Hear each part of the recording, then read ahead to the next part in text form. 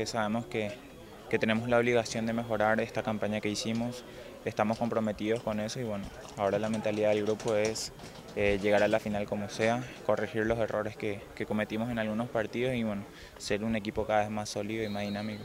Si a usted le preguntan cuál fue el principal error que cometió el Cali para no llegar a la, a la final, ¿cuál dirían?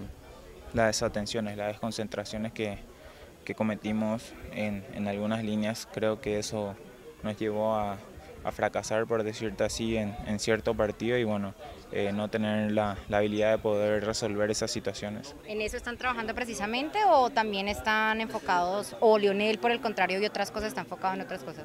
No, estamos enfocados en, en mejorar las cosas buenas que tenemos y claro, corregir los errores que cometimos. Sabemos que, que aquí hay poco tiempo de, de receso y bueno, debemos de mejorar en este, en este corto tiempo que estamos trabajando. En ese poco tiempo que tuvieron ustedes para recuperarse, Neri Vareiro pudo hacer ese mea culpa, esa autocrítica de qué fue lo que le pasó, cuál fue su desempeño eh, en el semestre pasado. Sí, claro, eso creo que, que todo jugador siempre lo hace al término de cada semestre. Eh, cosas buenas, cosas lindas eh, que, me, que me tocó vivir, pero también cosas malas como, como la eliminación. Eso nos duele y tengo esa espina clavada y bueno, esperemos que, que en este torneo la, la revancha esté ahí y, y sabemos que, que, se puede lograr. Eh, ¿Al Cali qué le hace falta? ¿Le hacen falta más refuerzos o le hace falta más trabajo táctico eh, dentro del campo? Acá lo importante, creo a mi parecer, es que se está manteniendo una base. Ahora los jugadores que llegan sabemos que, que van a aportar lo suyo a favor del equipo. Eso, eso es muy bueno para todos nosotros, ya que eh, se nota que, que son grandes jugadores y bueno, excelentes personas. ¿Y no les desespera a ustedes que está, llega un defensa, un volante mixto de marca y un delantero que no tuvo continuidad en el Caldas y se fueron cuatro delanteros?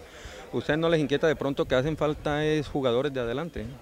No, aquí los, los encargados de ese tema son los dirigentes. Nosotros cumplimos con nuestro trabajo, sabemos que, que, se suman jugadores en cada puesto, pero bueno, esto es una lucha diaria, una lucha sana entre todos nosotros y el que haga mejor su trabajo es el que se va a ganar un puesto en la titular. ¿Cuál cree que es su balance en estos siete meses aquí en el Cali?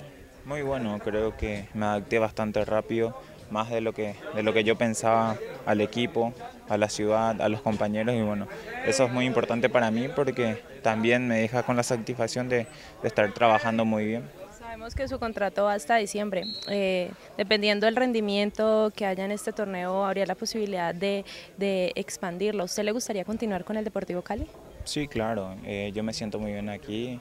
Eh, los compañeros me hacen sentir como uno más del grupo desde que llegué. Eso es muy importante y bueno, si se da la posibilidad, claro, eh, de seguir aquí en un club grande como los del Cali. Y bueno, pero, pero las cosas se, se van a dar a su debido tiempo y nada más me queda trabajar de la mejor manera.